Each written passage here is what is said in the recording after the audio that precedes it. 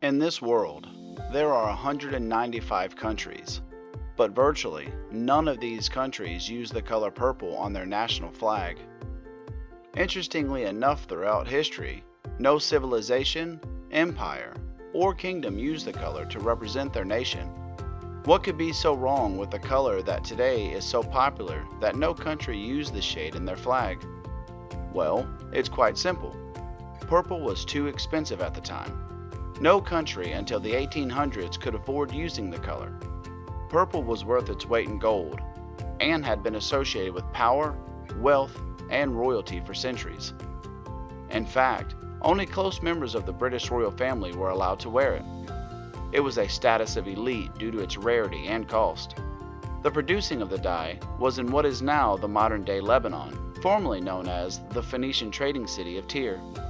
The dye was obtained from a small sea snail that was only found in that region of the Mediterranean Sea.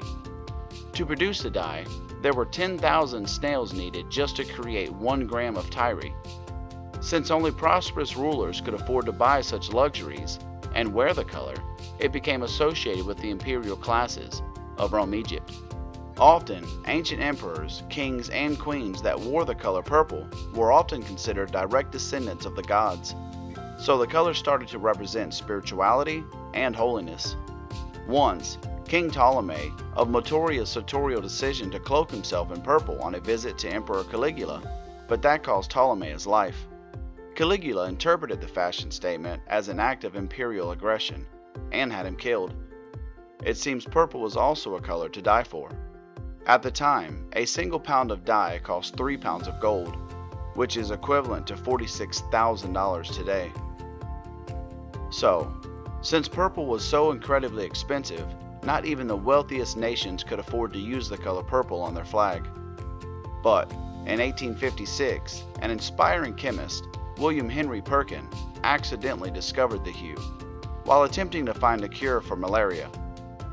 A synthetic residue that could rival the sheen of Tyrian purple, he recognized his good fortune and seized it, and in turn got filthy rich purple became available to everyone, while the elite stopped valuing purple and the status symbol faded away.